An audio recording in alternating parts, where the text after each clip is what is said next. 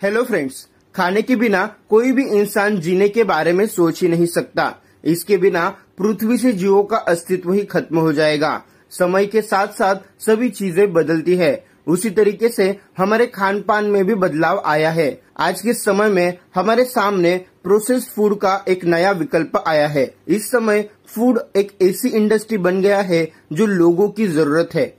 जिस तरह से हमारी निर्भरता प्रोसेस्ड फ़ूड पर बढ़ती जा रही है, वैसे वैसे फ़ूड टेक्नोलॉजी के क्षेत्र में करियर की कई सारे ऑप्शंस निकल के आ रहे हैं। और आज भारत में प्रोसेस फूड्स की कई सारी मल्टीनेशनल कंपनीज़ आ गई है। इसके वजह से इंडिया में फ़ूड टेक्नोलॉजीज़ की डिमांड काफ़ी तेज़ी से बढ़ती जा रही है। और इस क्षेत्र में कंपटीशन कम होने के वजह से यहाँ पर आपको हाई सैलरी पैकेज वाली जॉब भी मिल जाती है। तो दोस्तों, आज की स्पेशल वीडियो के अंदर मैं आप सभी को फुल डिटेल्स में बताने वाला हूँ कि फ़ूड टेक्नोलॉजिस्ट कैसे बने फ़ूड टेक्नोलॉजिस्ट का काम क्या होता है फ़ूड टेक्नोलॉजिस्ट बनने के लिए क्या एलिजिबिलिटी क्राइटेरिया होता है फ़ूड टेक्नोलॉजिस्ट बनने के लिए कौन कौन से कोर्सेज आपके सामने निकल के आ जाते हैं, उन कोर्सेज को करने के लिए कितना समय लगता है, कितने रुपीज़ की फ़ीस आती है कोर्स कंप्लीट कर लेने के बाद आप गवर्नमेंट एंड प्राइवेट में कौन कौन से पोस्ट पर जॉब हासिल कर सकते हो, वहाँ पर आपको पर मंथ कितने रुपीज़ की सैलरी मिलेगी, इन सारे टॉपिक पर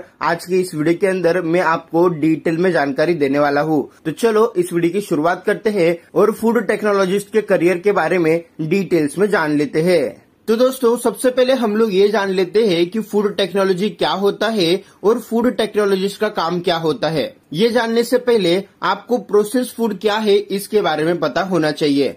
तो दोस्तों मैं आपको सिंपल शब्दों में बताता हूँ। प्रोसेस फ़ूड एक ऐसा फ़ूड होता है जिसे पहले से ही बनाकर एक बंद डब्बे में या फिर बोतल में जमा करके रख दिया जाता है। तो दोस्तों, उस फ़ूड को हम लोग प्रोसेस फ़ूड कह सकते हैं, जैसे कि चिप्स के पैकेट आम का अचार, मिठाई, दही। इसके एग्ज़ाम्पल में आप यही मान लो कि वो सारी चीज़ें जो एक बंद डब्बे में कई सारे महीनों तक रखी जा सकती है, उसे हम लोग प्रोसेस फ़ूड कह सकते हैं। इससे इंडस्ट्री का बहुत ही बड़ा फ़ायदा होता है। क्योंकि प्रोसेस फ़ूड की टेक्नोलॉजी के वजह से वो प्रोडक्ट कंपनी ने अगर आज बनाया है और उसे बंद डब्बे में केमिकल्स मिलाकर रख दिया जाए तो वो प्रोडक्ट एक साल तक खराब नहीं होगा। ऐसे में कंपनीज़ का बहुत बड़ा फ़ायदा होता है कि उनके जो भी फूड्स है, वो खराब नहीं होते। और इंडिया में लोग प्रोसेस फ़ूड खाना बहुत ही ज़्यादा पसंद करते हैं, जैसे कि गुलाब जामुन, आटा chips ice cream fruit juice etcetera ये सारे प्रोसेस फूड्स है। और इस प्रोसेस फ़ूड में कई सारे केमिकल्स भरे हुए होते हैं। इसको अच्छा और सुंदर दिखने के लिए तरह तरह के रंग और आर्टिफिशियल टेस्ट का इस्तेमाल किया जाता है। और इसके अंदर कई ज़्यादा मात्रा में नमक फैट्स और चीनी डाली जाती है, ताकि ये प्रोडक्ट एक साल तक खराब न हो। खैर, इसे ही प्रोसेस फ़ूड कहते हैं। अभी दोस्तों, हम लोग फ़ूड टेक्नोलॉजी के बारे में जानते हैं। दोस्तों फ़ूड टेक्नोलॉजी साइंस की एक ब्रांच है, जिसके अंदर प्रोसेस फ़ूड की सारी टेक्नोलॉजी और उससे रिलेटेड कई सारे प्रोसेस के बारे में सिखाया जाता है। और फ़ूड टेक्नोलॉजी का काम यही होता है कि उसे फैक्ट्री के अंदर बने हुए फूड्स की क्वालिटी उसका स्वाद, उसका रंग रूप चेक करना होता है। और जिस भी प्रोसेस से कंपनी वो प्रोसेस फ़ूड बना रही है, उस प्रोसेस पर ध्यान रखना और फ़ूड की क्वालिटी इंक्रीज करना। ये सारे काम दोस्तों फ़ूड टेक्नोलॉजीज़ के होते हैं। एक food processing company food technologies पे पूरी तरीके से निर्भर होती है। एक फ़ूड टेक्नोलॉजी की ज़रूरत पूरी दुनिया में है, क्योंकि हर देश में कई सारी कंपनी प्रोसेस फ़ूड का सामान तैयार कर रही है। भविष्य में खाद्य पदार्थ की कोई भी कमी न हो, इसलिए हर देश फ़ूड टेक्नोलॉजी पर रिसर्च कर रहा है, जिसमें क्वालिटी और टेस्ट के साथ साथ पोषक तत्व पर भी काम किया जा रहा है। भारत में एक फ़ूड टेक्नोलॉजी की सबसे ज़्यादा ज़रूरत है, क्योंकि इंडिया की पॉपुलेशन इतनी ज़्यादा है, इसके वजह से इंडिया में प्रोसेस फ़ूड सबसे ज़्यादा बिकता है। इसलिए इंडिया में ही एक फ़ूड टेक्नोलॉजी की बहुत सारी डिमांड है। तो आइए, अभी हम लोग ये जान लेते हैं कि एक फ़ूड टेक्नोलॉजिस्ट बनने के लिए क्या एलिजिबिलिटी क्राइटेरिया है।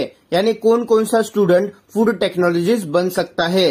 तो दोस्तों, एक फ़ूड टेक्नोलॉजिस्ट बनने के लिए आपको अपनी ट्वेल्थ साइंस की स्ट्रीम से पास आउट करनी है। आप अपनी साइंस की स्ट्रीम पीसीबी, पीसीएम, पीसीएमबी किसी भी सब्जेक्ट के साथ पास आउट कर सकते हो। और एक अच्छा फ़ूड टेक्नोलॉजिस्ट बनने के लिए आपकी केमिस्ट्री में पकड़ अच्छी होनी चाहिए। और अगर आपको बीटेक इन फ़ूड टेक्नोलॉजी का कोर्स करना है तो उसके लिए आपको जे डबल की एंट्रेंस एग्ज़ाम देना कंपलसरी है।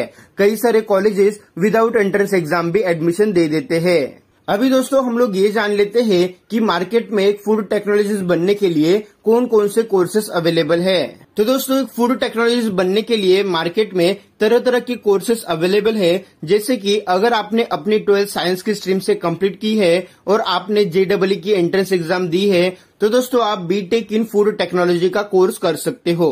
अगर आप जेडब्ल्यू की एंट्रेंस एग्ज़ाम नहीं दे सकते तो दोस्तों, आप बीएससी इन फ़ूड टेक्नोलॉजी का कोर्स कर सकते हो।